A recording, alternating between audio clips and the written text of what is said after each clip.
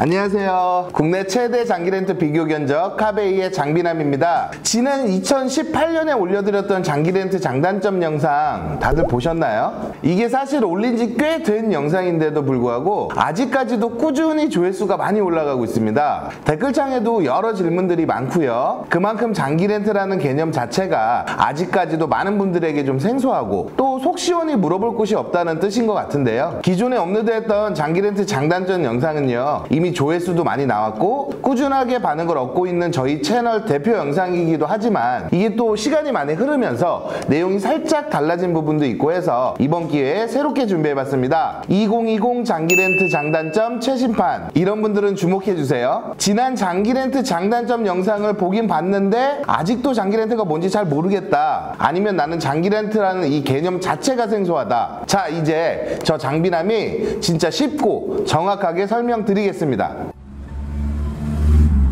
일단 신차 장기 렌트는 뭐 말 그대로 새 차를 일정 기간 대여를 해서 사용하는 상품을 말하는데요. 소유에서 이용으로 다양한 쉐어링 서비스가 사회 전반에 확산되면서 자동차 시장에도 렌트 열풍이 불기 시작했습니다. 그런 변화에 발 맞춰서 저도 이 장기 렌트 업계에 입성하게 됐는데요. 솔직하게 말해서 모든 분들에게 무조건 장기 렌트를 추천한다고 말씀드리면 이건 당연히 거짓말이겠죠. 모든 상품에는 장점과 단점이 있고 장기 렌트도 역시 마찬가지입니다. 상품의 장 단점을 정확하게 알아야 이게 정말 나에게 잘 맞는 건지 유리하다면 어디가 어떻게 유리한 건지를 판단할 수 있고 나아가서 단점까지도 감수할 수 있는지를 생각해 볼 수 있겠죠. 최신 버전입니다. 2020 장기 렌트 장단점 장점부터 정리해 보겠습니다.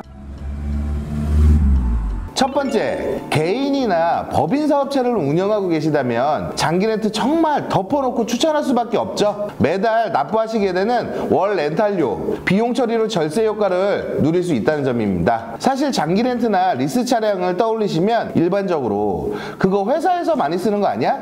이렇게 생각하시는 것도요. 바로 이런 이유 때문인데요. 사업용 차량이 필요하시다면 장기 렌트 계약하시는 걸 강추합니다. 두 번째, 이제부터는 개인 이용자분들 분들도 모두 해당되는 내용인데요. 바로 초기 비용 부담을 줄일 수 있다는 점입니다. 대부분 보증금이나 선납금 같은 초기 비용 없이도 계약 진행이 가능하시고요. 만약 신용등급 등의 이유로 초기 비용 납입 조건 하에 승인이 나더라도 서울보증보험에서 증권을 발행해서 해당 부분을 대체하실 수 있기 때문에 몇천만 원대의 차량을 초기 비용 부담 없이 이용하실 수 있는 상품이 바로 신차 장기 렌트입니다. 초기 비용 부담 없이 원하는 차량을 계약할 수 있다. 장기 렌트카의 가장 큰큰 매력 포인트 중 하나입니다. 세 번째, 신차 장기 렌트는요 말 그대로 금융 상품이 아니라 단순 대여 상품으로 분류되기 때문에 계약자의 신용 등급이나 대출 한도에 전혀 영향을 주지 않는데요. 그래서 신용 등급이 좋지 않은 분들이나 여러 가지 이유로 대출이 꺼려지는 분들에게 강력 추천합니다. 차량이 재산으로 인식되지 않기 때문에 앞서 말씀드린 신용 등급이나 대출 한도는 물론이고요. 건강보험료 등도 상승이 없기 때문에 정말 합리적으로 사용하실 수 있습니다. 네 번째, 신차 장기 장기 렌트카는요 월 렌탈료에 보험료가 포함되어 있다는 점입니다. 가끔 저희 카베이에서 견적을 받아보시는 고객님들께서 월 렌탈료가 본인이 생각하신 것보다 너무 비싸다고 이렇게 말씀하시는 분들도 계신데요. 장기 렌트 월 렌탈료에는 차량가액은 물론이고요. 자동차세나 취등록세 같은 부대 비용과 자동차 보험료까지 모두 포함되어 있기 때문에 추가적으로 발생되는 비용이 전혀 없습니다. 이때 보험은 개인 명의로 들어가는 게 아니기 때문에 운전 경력이 짧거나 사고 이력 등으로 자동차 보험료가 부담스러우신 분들이라면 더욱 유리하게 이용하실 수가 있습니다. 다섯 번째,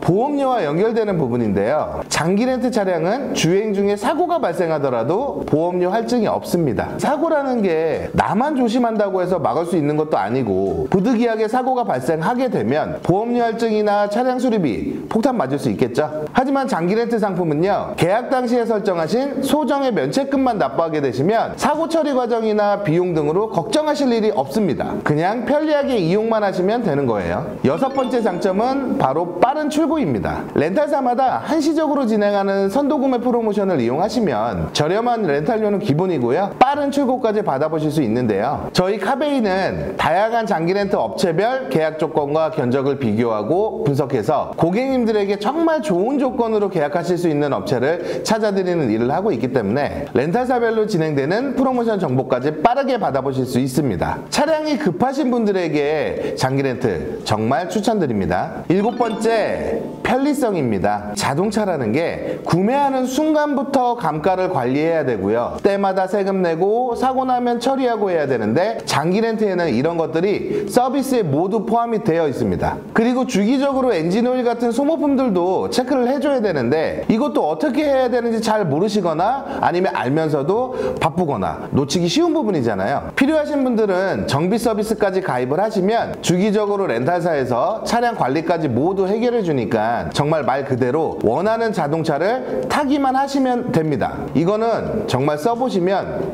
편해요. 장기 렌트 장점 대망의 마지막입니다. 차량을 구매하게 되는 그 순간부터 걱정해야 되는 게 있죠. 바로 감가상각인데요. 이 감가상각에서 자유로울 수 있다는 점입니다. 앞에서도 말씀드린 것처럼 장기 렌트 시장은 날이 갈수록 커지고 있기 때문에 정말 좋은 조건으로 이용하실 수 있는 지금이 바로 적기인 건 분명한 사실인데요. 장기 렌트 차량은 소유가 아니라 이용하시는 상품이기 때문에 감가에 대한 부담이 전혀 없고 인수와 반납도 자유롭게 선택하실 수 있습니다. 있습니다. 인수가 좋은지 반납이 좋은지 아직 모르시겠다고요? 전혀 문제가 없습니다. 차량 계약서에 도장을 찍을 때 결정하시는 게 아니고요. 계약이 끝나가는 시점인 즉 만기 시점에 인수나 반납을 선택하실 수 있기 때문에 그때 가서 내 차의 상태를 보고 차량의 감가 정도를 따져봤더니 어 이거 계속 타기도 싫고 아니면 중고차로 팔아봤자 번거롭기만 하다 가치가 없겠다 싶으시면요 그럼 그냥 반납하셔도 됩니다. 반대로 직접 타보니까 이 차가 너무 좋아서 계약이 끝나도 계속 타고 싶다. 아니면 깨끗하게 잘 타서 중고차 시세를 보니까 인수가보다 중고 매입가가 더 괜찮다 하시면요. 인수하셔서 되파셔도 됩니다. 일단 타 보시고 결정은 나중에 편하게 하시면 되는 거예요. 그래서 제가 꼽는 가장 큰 장기 렌트의 장점은 감가 걱정을 할 필요가 없다인데요. 하지만 최근에 몇몇 렌탈 업체는요. 수입차의 경우에는 감가를 보는 업체도 생겼어요. 그래서 수입차를 장기 렌트로 보신다 그러면 이 업체가 감가를 보는지 안 보는지를 잘 체크해야 되거든요. 그런 건 꼭 영업사한테 문의를 하셔야 됩니다. 그리고 최근에는 국산차의 경우에도 한 개의 업체는 감가를 보기 시작했어요. 이 부분도 꼭 영업사한테 체크를 해주셔야 돼요. 요즘처럼 뭐든지 빨리빨리 변하는 세상에서 원하는 차량을 초기 비용 부담 없이 신차로 탈 수 있고 만기 때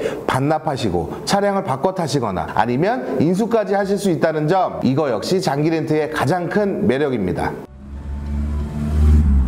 자, 너무 좋은 점만 말하니까 믿음이 떨어지시죠? 이제부터는 단점 말씀드리겠습니다. 첫 번째, 장기 렌트 차량은요, 렌탈사 소유의 영업용 차량으로 분류되기 때문에 식별 번호판인 하, 호 또는 허 이 세 가지로 이용이 가능합니다. 사실 요즘에는 사업자는 물론이고 개인 고객님들도 정말 많아지셨어요. 그래서 장기 렌트를 워낙 많이 이용하시기 때문에 이런 게 뭐가 문제냐 하는 분들이 대부분인데요. 나는 정말 죽어도 하, 호 번호판은 싫어. 하시는 분들이라면요. 사실 할부나 리스로 차량을 이용하실 수밖에 없습니다. 두 번째, 앞서 말씀드린 장기 렌트 장점과도 연결되는 부분인데요. 보험 경력이 단절될 수 있다는 점입니다. 장기 렌트 월 렌탈료에는 렌탈사 명의의 보험까지 포함이 되어 있기 때문에 별도로 보험료를 납부하실 필요가 없고 만약 사고가 발생한다 하더라도 보험료 인상이 되지 않아 장점이라고 말씀드렸는데요. 운전 경력이 아무리 오래됐다고 하더라도 3년이 지나면 개인 보험 경력이 단 단절된다는 점 다들 알고 계실 거예요. 나는 무사고 경력이 너무 오래돼서 보험료가 진짜 저렴하고 이건 절대 포기할 수 없다 하시는 분들은 계약 기간을 2년 또는 3년으로 설정하셔서 보험 경력 단절을 미리 방지하시거나 계약 기간 만료 전에 승계자를 찾아서 계약을 정리하시게 되시면 보험 경력을 유지하실 수 있게 됩니다. 세 번째 단점입니다. 장기 렌트는 경우에 따라서 계약 진행이 불가능한 차종이 존재하는데요. 화물차나 버스, 캠핑카 등의 경우에는 경우에는 장기 렌트 계약 대상이 아니기 때문에 이용을 원하시는 경우에는요 비슷한 상품인 리스를 통해서 알아보시는 걸 추천드립니다. 그리고 경우에 따라서는 장기 렌트 계약 진행이 가능한 차종이라고 하더라도 연예 기획사나 대리운전 같은 곳에서는 계약 진행이 어렵다는 점도 알아두시면 좋을 것 같습니다. 장기 렌트 단점 마지막은 바로 위약금입니다. 갈수록 장기 렌트 시장이 커지고 있기 때문에 렌탈사별로 경쟁을 하면서 자연스럽게 비용도 정말 저렴해졌습니다. 여기에는 때는 계약 기간 동안 이 상품을 계속 써줄게 라는 약속이 당연히 포함이 됩니다. 그 대가로 좀 더 저렴한 렌탈료를 보장받으실 수 있는 거고요. 실제로 최근 들어서 렌탈사들은 이익률을 많이 낮췄고요. 그렇기 때문에 대여료도 많이 저렴해졌고 심사도 많이 유해졌습니다. 그렇다고 렌탈사 입장에서 손해볼 수 없잖아요. 조건이 좋아진 만큼 위약금률은 많이 올라갔습니다. 이 부분은 반드시 주의하셔야 됩니다.